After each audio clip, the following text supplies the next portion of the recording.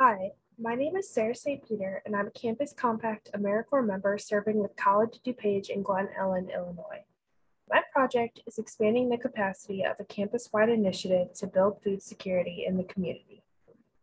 According to the USDA, food insecurity is defined as the lack of consistent access to enough food for an active, healthy life.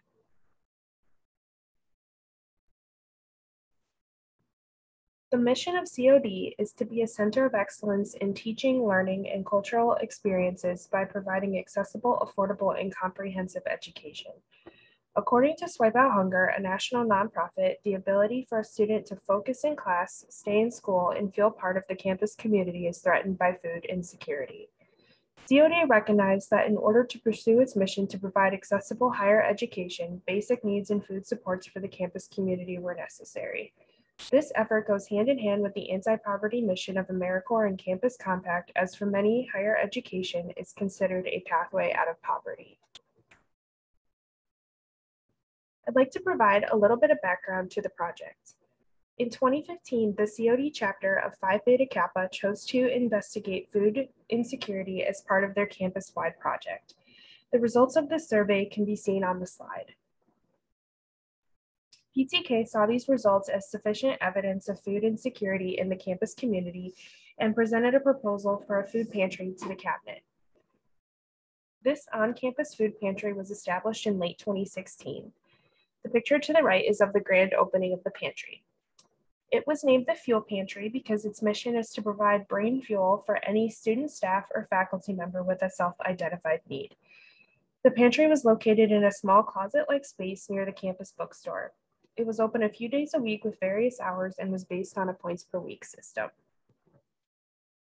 Another important component to this project is the Fuel Garden. It was started in 2001 on campus as a service learning site.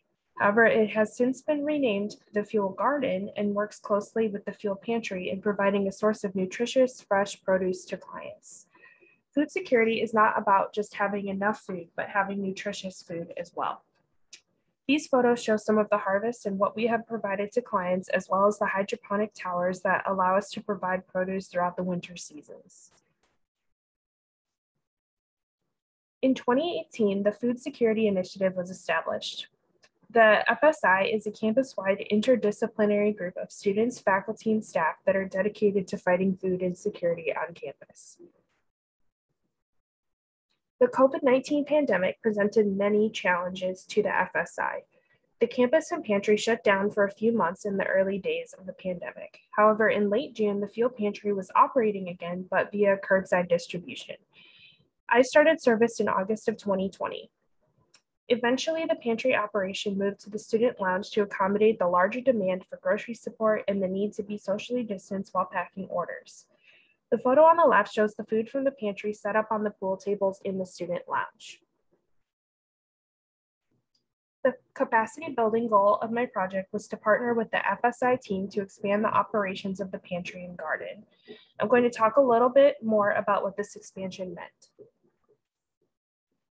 So the capacity building effort of this service here can be broken down into four parts, marketing and outreach, data strengthening, partnerships, and grants and resource development. But first I will start with marketing and outreach.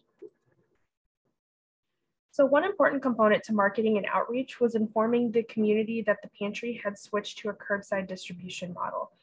I designed flyers with links to our online order form so people could place orders as barrier-free as possible. This marketing effort really got off the ground when um, faculty posted these flyers on their Blackboard sites. We found out later that 58% of our registered clients first heard about the pantry from a faculty or staff member. This graph shows the number of visits to the pantry since curbside opened in June of 2020. It has consistently increased due to word of mouth. However, the two highest spikes correspond to when the faculty posted flyers on their Blackboard platforms. I also worked on the creation of our first ever newsletter for the FSI that provided an intro to the initiative, um, data um, from the pantry and garden, as well as a thank you page to our donors and supporters. And it went out to all staff and faculty this spring. These are two other marketing examples. They are poster board signs from our food drives that we had in partnership with the Glen Ellyn Park District. They were put on Main Street in Glen Ellyn leading up to the events. And the middle picture is from the drive we held in December where over 3,000 pounds of food were donated. Another area I assisted in building capacity was through grants and proposals for cash resources. I had the ability to assist in writing the grant for our second Resource for Excellence award provided by the College of DuPage Foundation. We were awarded $20,000 in support of the expansion of the fuel pantry program. We are also prompted by the Wheaton Rotary Club to submit a proposal for $10,000 to allow for adding refrigeration and freezer capacity to our pantry, along with the implementation for fuel snack stations across campus. I also helped with the recruitment of new FSI interns to work on the pantry and garden. Additionally, through service learner management and assisting with the seasonal food drives, I was able to help leverage over $7,640 worth of in-kind donations to the fuel pantry. This was about 4,391 pounds of food. I also created a service learning guide as an educational background to the pantry for students, as well as lots of research on nutrition education. I also built capacity through strengthening our data collection process. I researched best practices for data collection for food pantries and worked on implementing these techniques. All of these measures help strengthen the data we are collecting, our ability to collect it, as well as the sustainability of the program. Additionally, this information can be used in the future when applying for grants and funding. I assisted in drafting out a proposal for fundraising design that um, would not only hopefully raise money for the project, but also raise awareness for the project. It has not been implemented yet, but may be able to by this holiday season. I also spent a lot of time researching and investigating next steps for snack stations across campus, as well as potential future partnerships and ideas for the growth of the initiative. So the anti-poverty inter interventions for, for the project were to, to provide food and nutrition support to the community. We also provided a lot of information on community resources that may be of help to our clients. Um, so the picture to the right is of a guide that I created that we email out to all new clients. So here are some of our numbers from the start of Curbside through April of 2021. We have served 280 non-duplicated clients, have had 858 visits to the pantry, have helped support over 820 additional family members of clients through these food supports, and have, and have provided over 25,000 pounds of food to our clients. We are currently in the early stages of investigating project outcomes. However, some of the early information we are receiving from a survey is promising. We found that out of clients that said they had previously worried about running out of food before being able to purchase more, 50% said that this was no longer a concern for them after using the pantry. Additionally, of those struggling with food insecurity, 70% indicated that the pantry had specifically helped alleviate one or more of the challenges that they face. So while these are, this is in the early stages, um, the results from this survey are showing an increased rate of food security for clients. Now, one of the best evidence of outcomes we have currently is our client testimonials. And for the sake of time, I will read just one. The fuel pantry was there for me when my own parents couldn't be. Being an international student, the pandemic hit me really hard. Banks were shut down overseas, so I couldn't get help from my parents financially. The fuel pantry has helped me so much. I never again went to bed hungry, and they always asked me if I needed anything more without judgment. They work so hard to help me and my family with meals. We are always thankful for any client feedback that we receive because it helps us to improve the program. Now I'd like to move on towards sustaining the project.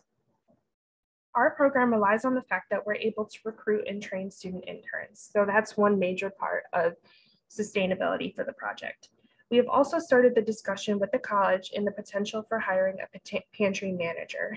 It would be extremely helpful to have someone solely dedicated to the management of the pantry. Um, we were also officially approved for a third year AmeriCorps member. We will have a sustainability binder for them with notes and how-tos to get them introduced to the project as well as um, guidelines and information for everything that I've worked on during the service year. Finally, just as a few closing thoughts, I'd like to address some challenges um, throughout the service year as well as some recommendations.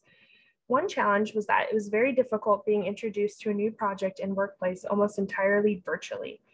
There's a steep learning curve, but luckily my supervisor, as well as others at my host site, were welcoming and communicative. It was also a challenge writing grants and planning future partnerships when the repercussions of COVID-19 were and still are unknown. It also posed unique challenges regarding social distancing while packing for large amounts of people and hiring freezes on student workers.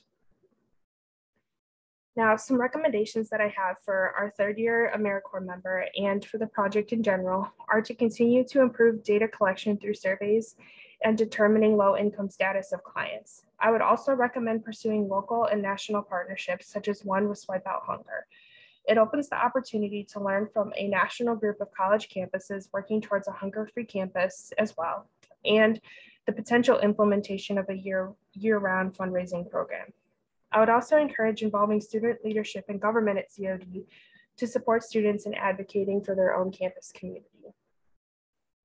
Lastly, I want to thank all the amazing people I've worked with over the course of this year because the accomplishments of my service year were entirely a collaborative effort. My supervisor, Shannon Hernandez, is the coordinator of student life at COD, and I'd also specifically like to thank Anna Vitek, the fuel garden manager, as well as everyone at the Food Security Initiative the Campus Compact team, and my fellow AmeriCorps members that were very supportive and had great suggestions. So thank you so much for listening to my presentation.